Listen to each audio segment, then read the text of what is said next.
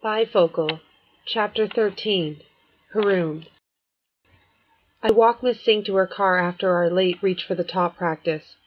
Less than two weeks before the show, she says, Ramadan will be over, and there will be nutrition as well as brilliance flowing through your brains. Does she ever get tired? She bounces with every step, just like she does in the first class of my morning. Even when it isn't Ramadan, I'm often wiped by the end of the day. We leave the nearly empty school together and cross the lawn, heading to the teachers' parking lot. We see a few kids standing on the edge of Browntown, looking down at something. What's going on? Miss Sims wonders. We walk over there to find out. They wonder how 9-11 could have happened, I hear someone say as we get closer.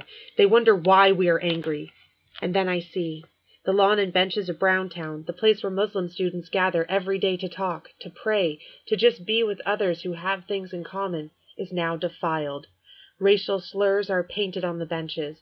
The ground is covered with pieces of something that is sort of light brown and sort of pink. It takes me a moment to identify it.